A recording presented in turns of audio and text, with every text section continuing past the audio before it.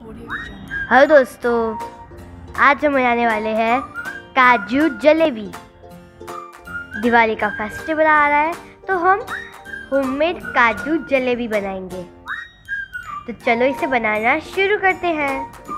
हम 150 ग्राम काजू लेंगे। काजू को हम मिक्सर में क्रश कर लेंगे। क्रश करते समय हमें ध्यान रखना है। मिक्सर को हम बंद चालू बंद चालू करके हम काजू का पाउडर बनाएँगे। ये प्रोसेस हमें ध्यान से करनी है, वरना हमारा काजू पाउडर नहीं बनेगा। वरना हमारा काजू पाउडर ठीक से नहीं बनेगा। अब देखिए, काजू पाउडर रेडी हो चुका है। अब हम हम हमारी चाशनी बनाएँगे।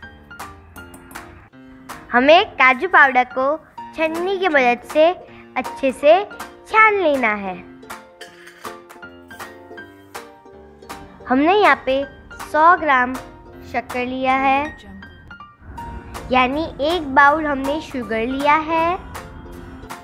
हैवी पेन, पैन में हम चाशनी बनाएँगे। हम आधा बाउल पानी गरम करने रखेंगे। चाशनी में हमें एक तार की चाशनी बनानी है। इसीलिए हमने एक बाउल शुगर के सामने आधा बाउल पानी गरम करने रखा है। हमें उसे कंटिन्यूसली चलाते रहना है। पैन के आसपास शुगर चिपकना नहीं चाहिए चाहिए। आप देख सकते हैं फ्रेंड्स, हमारा शुगर का एक तार बन रहा है। पूरी प्रोसेस में हमें गैस की फ्लेम स्लो रखनी है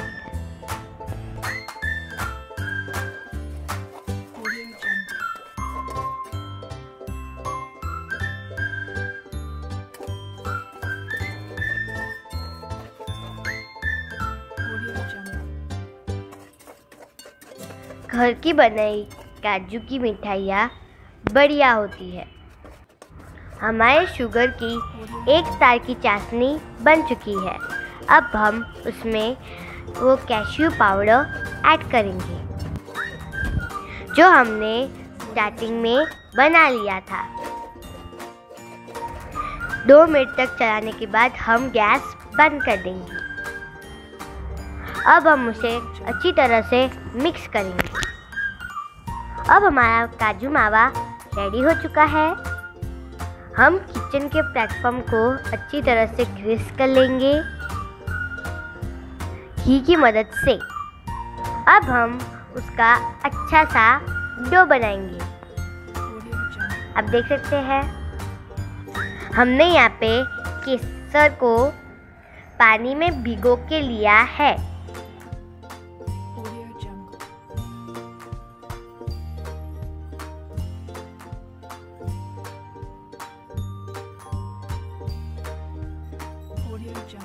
बढ़िया सा डो रेडी हो चुका है।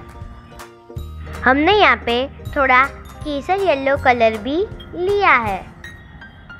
और थोड़ा सा इलायची पाउडर भी ऐड किया है। अब उनको हम अच्छी तरह से हमारे डो में मिक्स कर लेंगे।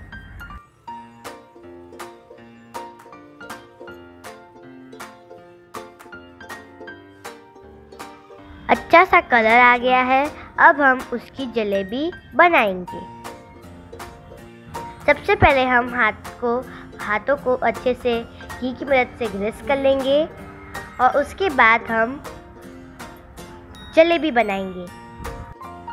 आप लोग देखिए हम कैसे बना रहे हैं।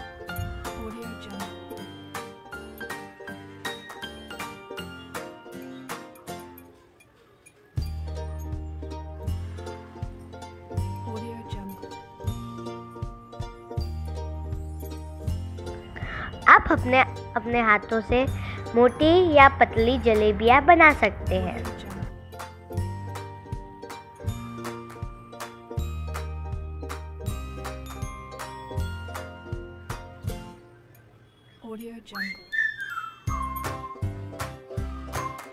देखिए आप मैं कैसे जलेबियाँ बना रही हूँ।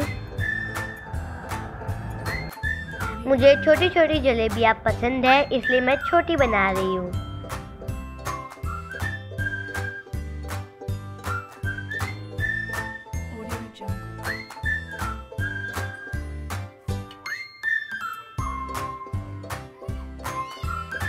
इसी तरह हम हमारी सारी जलेबियाँ बना लेंगे उस पर हम चांदी की वर्क लगा देंगे, जो मार्केट में मिलती है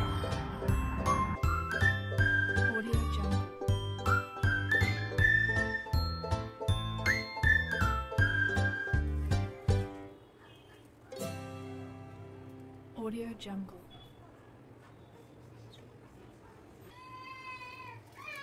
हमारी सारे जलेबियाँ रेडी है। अब हम उस पर सिल्वर बर्क ऐड करेंगे।